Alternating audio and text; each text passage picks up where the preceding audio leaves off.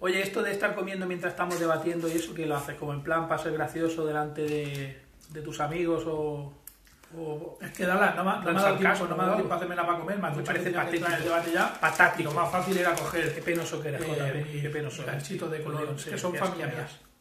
Los chetos, me encanta. Aparte que me recuerdan a mi familia. Patático. Yo lo que digo, Dallas, es que si la gente supiera lo que tú has ganado estos Que si supieran lo que yo he ganado los meses cuando Porque yo, por ejemplo, la loca de mi expareja estaba echándome mierda y te- había perdido todos los contratos publicitarios. ¿Sabes lo que gané? Cero.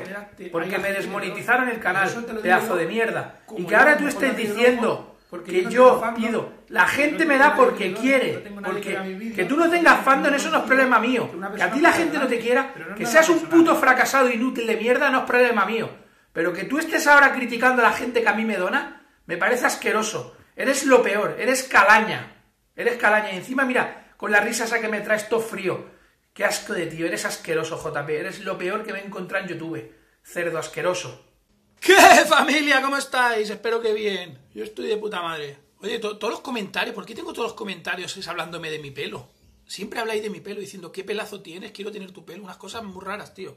Pero bueno, antes de arrancar el vídeo, de siempre, agradecer a todo el mundo que me apoya. Eh, sinceramente voy a decir una cosa, eh, tengo muchas ganas de seguir creando contenido, de seguir innovando, bueno, o, creando que, creyendo que innovo, haciendo parodias y tal, pero estoy muy quemado con YouTube. Tío, ayer mismo otra vez me volvieron a desmonetizar un vídeo, que el vídeo en sí eh, tiene ya va para las 10.000 visitas y lo mismo son 10 euros o 10 dólares, pero te toca los cojones que es algo que, es tuyo y, hoy me activará la monetización y el vídeo, las primeras 10.000 visitas las perderá y las siguientes 2.000 o 3.000 que hagan me las darán y me darán 50 céntimos o 50 pesos. No sé de qué país sois, pero bueno, para que os hagáis una idea. Entonces, qué menos que arrancar siempre los vídeos dando las gracias a Macarena Flower, a Pablo y a Roberto por haberse suscrito en el Patreon, ¿vale? Gracias de corazón. Gracias de corazón porque por lo menos, mira, por lo menos ahí siento que me apoyáis y mira, por lo menos para ir pagando eh, la peluca o ir pagando las cosas, pues vamos haciendo. Dicho esto, arrancamos. Voy a hablar del debate que tuvo Dallas con JP, que vaya debate, tío. O sea, yo creo que aquí hay dos posturas. La primera, ahora ya lo iré viendo cuando vaya eh, diseccionando el debate. La primera es que Dallas entiendo perfectamente que se le fuera la pinza. O sea, lo entiendo porque yo habéis actuado igual. Y JP, sea, JP daba miedo. O sea, JP era todo frío, todo la risa esa diabólica, o sea, era increíble. Pero bueno, vamos por partes porque me he hecho hasta una chuletilla. Yo creo que últimamente sí que me puedo llamar youtuber. Antes no, antes enchufaba la cámara, empezaba a decir tonterías, ahora me preparo las cosas. Bueno, dentro de lo que cabe. Lo primero de todo es, eh, el primer punto, que lo más, eh, lo más de esto, es cómo JP eh, empieza el debate con Dallas y se hace unas palomitas para cenar, para pegarse el moco, eh, cuando toda la polémica venía con la canción de palomitas. Entonces él ya lo tenía estudiado, ¿vale? El panocha. O sea, él ya decía, digo, voy a hacer el debate con Dallas, pero me voy a preparar las palomitas y mientras él me va hablando voy comiendo palomitas como para pegarme el moco, para decir, aquí estoy el J pelirrojo, me río de todos y mientras el Dallas, me estoy riendo en la cara de Dallas, voy comiendo palomitas. Entonces ya soy el jefe y los aliades lo flipan, la Miare le hace palmas todo y Kido está en una nube diciendo JP eres mi ídolo, voy a comprar tus discos de mierda de música. Entonces lo hizo toda conciencia el cabrón y dice, no, si es que era porque tenía que cenar algo, sí, y en tu puta casa no tienes una lata de atún, o no tienes un bollicao, o no tienes eh, cereales, no, no tienen que ser palomitas, una cosa que tienes que ir al microondas, poner tres minutos y todo el rollo, ¿no? Qué casualidad. La, la vida está llena de casualidades, por eso es tan bonita. Otra de las cosas que también me flipó fue cuando JP bueno, fliparme no, pero expuso una movida que él tuvo también con Auronplay, que vinieron a molestarlo y tal, y que él lo hizo privado y no lo hizo público, pero soltando pullitas a como diciendo, yo estas cosas las hago en privado y tú las expones. Yo, mira, yo voy a decir aquí una cosa, yo soy partidario de que, yo siempre lo he dicho, soy partidario de que las cosas no lleguen, eh, bueno, lo de Dallas ya a otro nivel, pero que no lleguen a juicio ni historias, ¿no? O sea, yo, por ejemplo, yo me he visto de Kido, y si alguna vez Kido me hace un vídeo contestándome, yo lo aceptaré, pero jamás se me ocurrirá denunciarlo, por ejemplo. Como vuelvo a decir, lo de Dallas ya a otro nivel. Pero por eso digo, no veo mal lo que hace Dallas. Yo, por ejemplo, si tuviera una exnovia de YouTube, que fuera youtuber, y tengo este enfrentamiento, y la gente me quiere y quiere saber cómo estoy, mi día a día, etcétera, etcétera, yo haría vídeos monetizados hablando de esto. Que a mí no me vale cara a J Pelirrojo en esa época, en esa época cuando le iba bien en YouTube, eh, le pasaran esas cosas y cómo ganaba pasta. dice, no, yo soy aquí, soy digno y no hablo de estas cosas. Y ahora que estás en la puta mierda, te subes en el debate de Dallas y lo sacas como para quedar bien, pero lo sacas porque sabes que no te ve ni tu familia, ni los panochitas, y lo sacas como para pegarte el moco. Yo en, en, esos tiempos, en esos tiempos porque estaba forrado de pasta. Pero si tuvieras que hacerlo ahora, si te pasara ahora, lo monetizabas, cabrón. Seguro. Y mira que vuelvo a decir una cosa, a mí el vídeo de las disculpas que hizo me pareció una puta maravilla, el vídeo de JP. Menos algunos zascas que le dio al Dallas, porque yo creo que en un vídeo de 19 minutos habló de Auron, de la pringada de Wimichu, 30 segundos, y de Dallas habló 7, 8 minutos y patinó, pero lo demás no me parecía mal tío, ni tengo nada contra él. Pero es que me hace gracia cuando quieres darte como el ejemplo y eres un puto hipócrita. Otra de las cosas que tiene, tienen ahí ellos dos, un riff y rafe, es el famoso vídeo que hace J. Pelirrojo eh, diciendo más o menos que aconseja a Miar esconder el perro o secuestrarlo o que no lo vuelva a encontrar este hombre. ¿Por qué? Porque J. Pelirrojo en su día pensaba a lo mejor, como todo el mundo, que Dallas eh, iba a maltratar al perro, le iba a hacer daño. Entonces dijo, oye tío, antes de que se lo lleve este tío, escóndelo.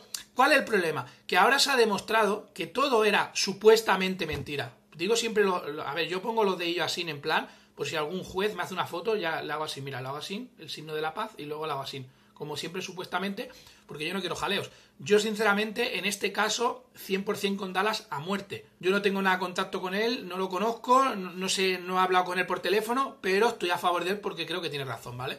Pero como digo, J. Pelirrojo podía haber entrado y haber dicho, oye tío, cuando hice el famoso vídeo, te pido disculpas, ¿vale? Te pido disculpas porque yo pensaba que tú eras de una clase de persona y me daba miedo que ese animal se fuera contigo. Entonces yo digo que se lo quede mi are porque ese ser es muy malo, o sea, tú pero como se está demostrando que no, que no eres tan malo y que tienes la razón y que esta tía, telita marinera, te pido disculpas por el vídeo ese y si el perro tiene que estar contigo, que esté contigo. Pero no lo hizo, el tío, el tío subió, ya te digo, es que el tío daba, grima, ¿eh? el tío daba, no sé, muy frío, muy...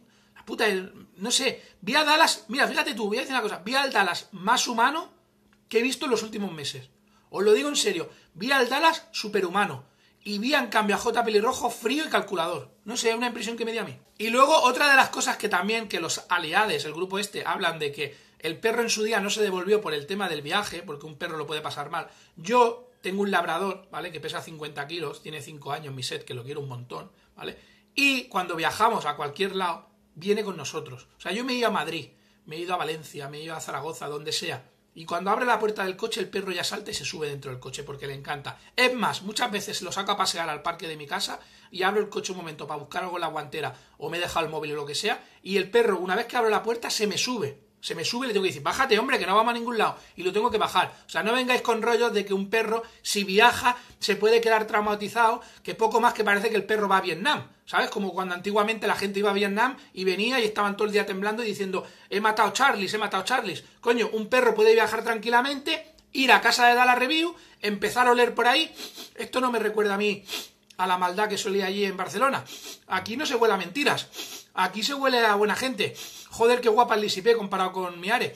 Y el perro se acostumbra. No vengáis a tocar los cojones porque el perro puede viajar perfectamente y se acaba acostumbrando. Porque como bien han dicho en el vídeo anterior el Javi, ¿vale? Que lo está viendo, un perro adoptado ¿qué?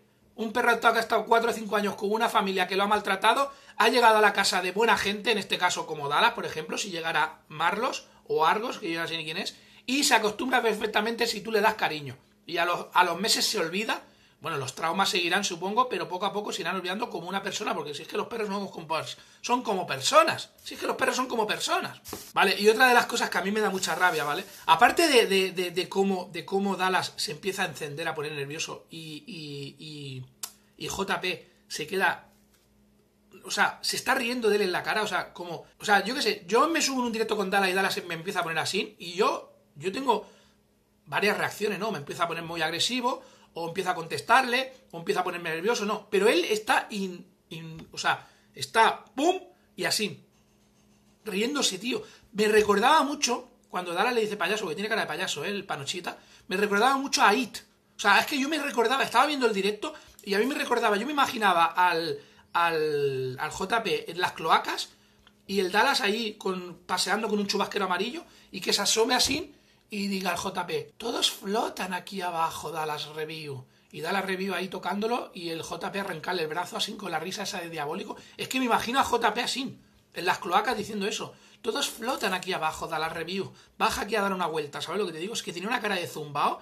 Frío, calculador. Uf, qué grima me ha dado. Bueno, y Dala se pone de los nervios porque JP le dice, si la gente supiera lo que has ganado, dejarían de donarte. Mira, ¿sabes cuál es el problema, JP? Que yo, por ejemplo, y me lo, voy a decir aquí y no que no suena flipado, yo con 12.000 suscriptores tengo más fandom que tú. O sea, tengo más gente que me quiere y tú tienes un millón. El problema que tienes tú, JP, y lo digo con cariño, es que yo, por ejemplo, tengo un Patreon que la gente me está ayudando. Dallas, da igual lo que haya ganado. Es que Dallas puede hacer mañana un vídeo y decir, he ganado 10 millones de euros, 10 millones de euros, y le seguirán donando. Porque tenemos el ejemplo más claro de Rubius. ¿Por qué la gente sigue donando a Rubius si Rubius es millonario? ¿Por qué? JP, explícamelo. ¿Por qué? Porque la gente ama su trabajo, le gusta su forma de ser y donan porque quieren. Yo, por ejemplo, sé que el día de mañana, si alguna vez gano 3.000 euros de YouTube, con eso podré pagar mis necesidades, mi alquiler, eh, mi luz, mi agua, mi móvil, etcétera, etcétera. Pero si la gente sigue donando, yo seré súper agradecido. Y seguirán donando porque ellos quieren. O sea, la gente no te dona por el nivel económico que tienes. La gente te, dona porque te quiere. Si no, aquí está la, demostración de que a ti no te quiere nadie. Porque tú no estás generando una mierda de YouTube y la gente no te dona. ¿Por qué? Porque no te quieren. No es problema mío que tu fandom se, se tenga que dividir en tres mandarinas, ¿vale? O sea, este es tu fandom ahora mismo, J. Pelirrojo. Este es tu fandom, ¿vale? O sea, tú ahora mismo tienes este fandom. O sea, son tres mandarinas, ¿vale? Pues serán así primos tuyos lejanos.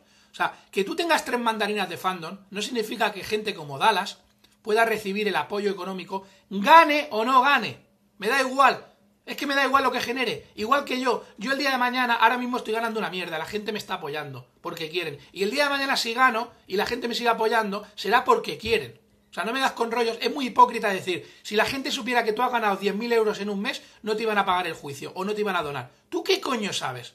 Tú el problema que has tenido es que eres un dinosaurio de YouTube y te estás intentando reciclar y no tienes ni fandom.